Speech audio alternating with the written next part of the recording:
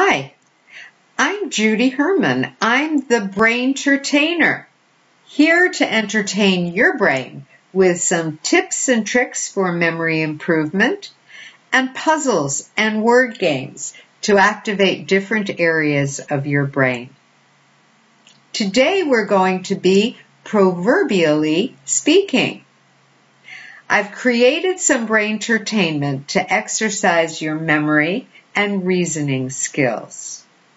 We're going to be looking at some proverbs and some will be familiar, others you may not know, but by the end you'll get to know them all.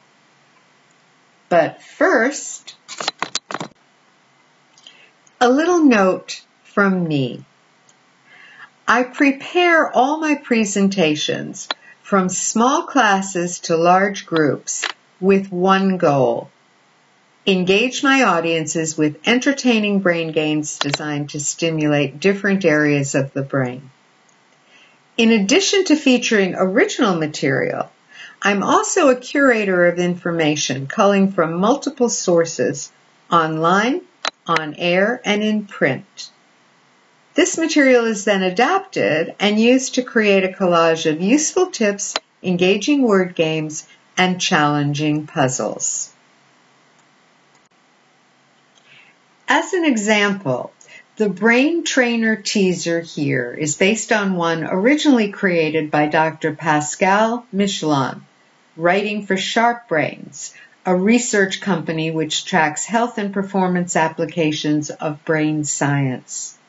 Dr. Michelon has a PhD in cognitive psychology and has worked as a research scientist at Washington University in St. Louis.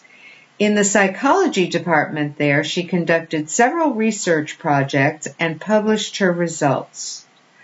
Dr. Michelon's work has helped me understand how the brain makes use of visual information and memorizes facts. I've understood how the brain processes verbal connections and how we can improve focus and attention. Much of what I've learned I've adapted into activities to share with my classes and continue to extend the learning and growth opportunities of all materials that I research.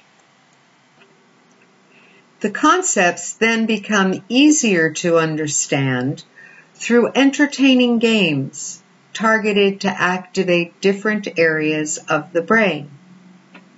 We have mazes for spatial ability and navigation, anagrams and other word games for vocabulary and communication, logic puzzles which work on your frontal lobe and executive functions, word searches for focus and concentration, and even some math.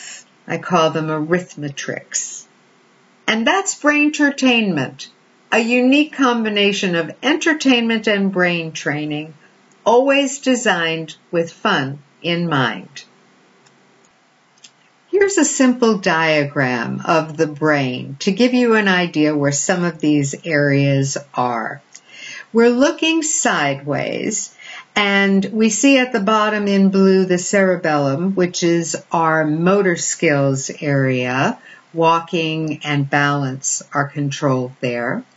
And then we have four lobes on each side of the brain. The occipital lobe is for vision and the parietal lobe makes us aware of sensory activity.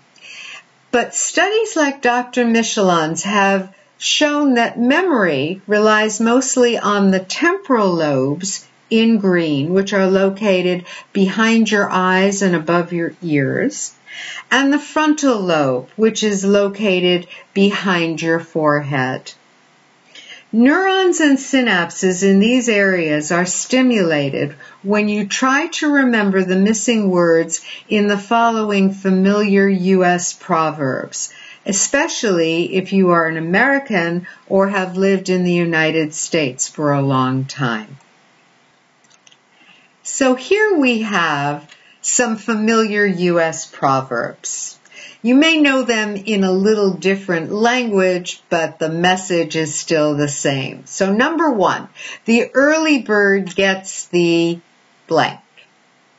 Number two, after all is blank and done, more is said than blank. Number three, from blank beginnings come great blank.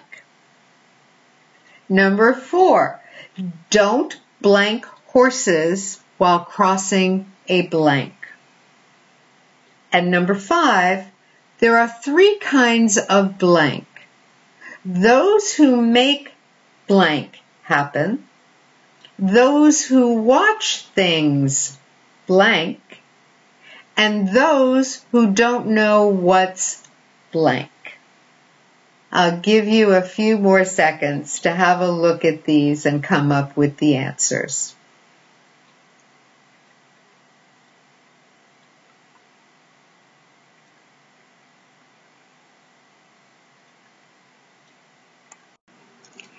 I hope you were able to remember some of those proverbs.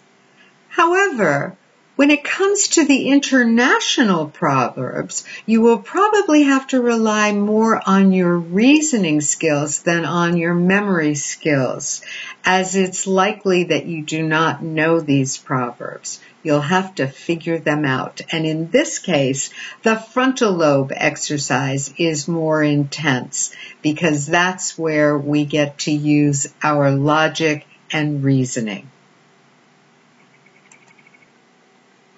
So here are our international proverbs. Number one, write injuries in sand, kindnesses in blank. They know that one in France.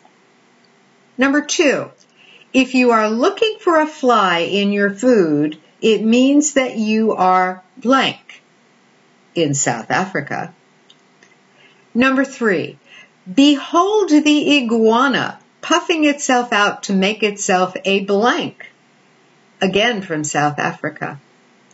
Number four, milk the cow, but do not pull off the blank in Greece. And number five, if you want to gather a lot of knowledge, act as if you are blank in Vietnam. I'll give you a couple more seconds to have a look at these. Trickier because you have to figure out what the meaning might be.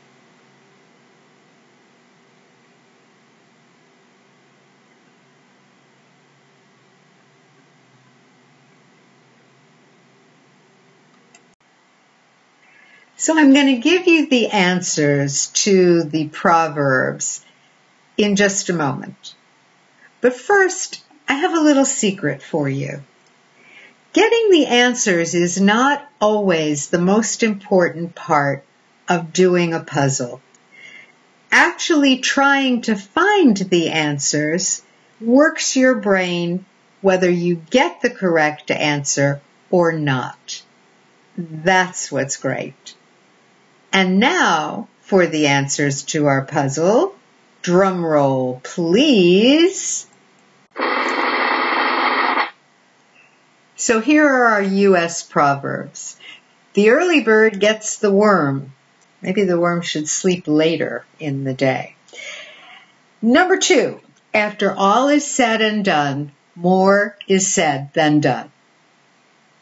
Number three, from small beginnings come great things, or from little acorns, giant oaks grow. Same idea.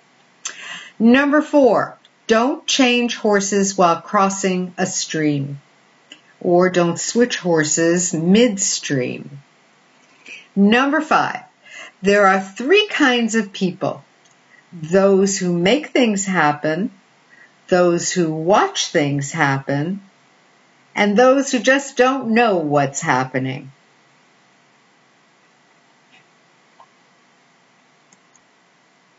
And here are our international proverbs. Number one, write injuries in sand, kindnesses in marble. or stone even if you put that in. Number two, if you're looking for a fly in your food, it means that you are full or just not hungry because you already ate enough. Number three, behold the iguana puffing itself out to make itself a man. I thought a dragon actually. Number four, milk the cow, but do not pull off the udder. That would be utterly ridiculous. And number five, if you want to gather a lot of knowledge, act as if you are ignorant. Hmm, good advice, I think. And here's even more good advice. Some brain entertainer tips to remember. We learned that proverbs are familiar sayings or pithy morals that become widely known within a country or culture. We remember not just the words, but interpretations and extensions of the meanings. These become important life lessons for us all, and they are forever embedded in our collective memory. However, when we encounter sayings from another culture or country, our reasoning power is called upon to figure out the possible meaning, which may be unfamiliar. And we learn something new that becomes another life lesson. So don't forget, when you extend your learning in this case, trying to think of additional proverbs like a bird in the hand is worth two in the bush or a rolling stone gathers no moss. You begin a process called neurogenesis in your brain. New neurons, which are your brain cells, and synapses, connections between those brain cells, are created Genesis from the Bible through linking additional new or already known information to a recently learned concept. So we've come to the end of this presentation. I hope you've enjoyed it. I'm Judy Herman, the brain entertainer, reminding you to stop complaining and start brain training. We have memory improvement techniques, effective thinking strategies, entertaining logic puzzles, and engaging word games. And that's brain entertainment. And I say thank you so much for being with me. I'll look forward to seeing you again. Bye for now.